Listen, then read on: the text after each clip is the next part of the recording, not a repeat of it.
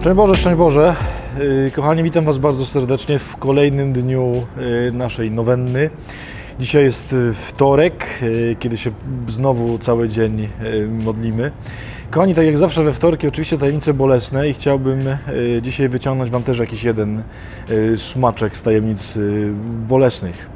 Moi drodzy, wiecie, że jedną z form męki, którą Pan Jezus za nas poniósł, to była męka pewnego rodzaju ośmieszenia.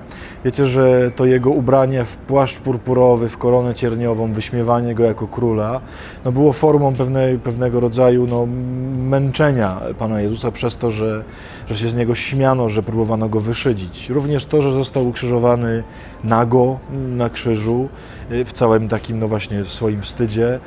Y, To są takie miejsca, które przyznam są bardzo bolesne, kiedy sobie myślę o męce pańskiej. Takie miejsca, gdzie y, Pan Jezus dla nas, dla naszego zbawienia, miłości do nas pozwolił, no, żeby go ośmieszono. Kochani, dlaczego Wam o tym mówię? Dlatego, że różaniec też może być pewną formą towarzyszenia Panu Jezusowi właśnie w tym. Już mówię o co chodzi. Zobaczcie, że często mamy takie problemy, żeby różaniec wyciągnąć w jakichś publicznych miejscach, nie? żeby się na przykład modlić w tramwaju, ale nie trzymając, że tak powiem, różaniec w kieszeni, tak, że go nie widać, tylko no, trzymając go publicznie, tak, żeby go było widać.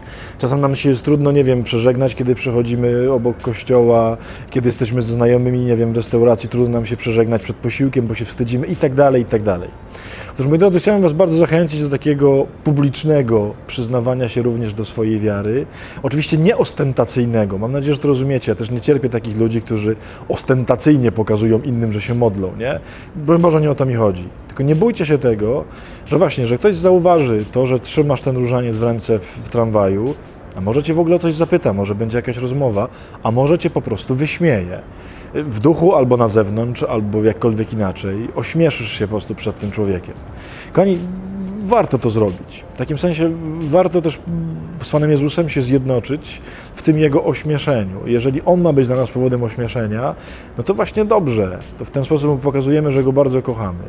Więc bardzo Was zachęcam do tego, żebyście się nie bali z tym różańcem również wyjść, tak powiem publicznie, mówię, nie ostentacyjnie, ale publicznie, tak żeby się przyznawać do tego, że, e, że jesteś z Panem Jezusem, że też modlisz się na różańcu, że to jest dla Ciebie ważne. Y, to jest pewnego rodzaju, myślę, bardzo piękne świadectwo. Więc nie bójcie się tego typu ośmieszenia, które czasem się zdarza. Tyle na dzisiaj. Widzimy się jutro w kolejnym dniu naszej nowenny. Módlcie się, pamiętajcie, modlimy się, a nie lenimy, a y, do zobaczenia y, pewnie jutro rano. Z Bogiem, pa!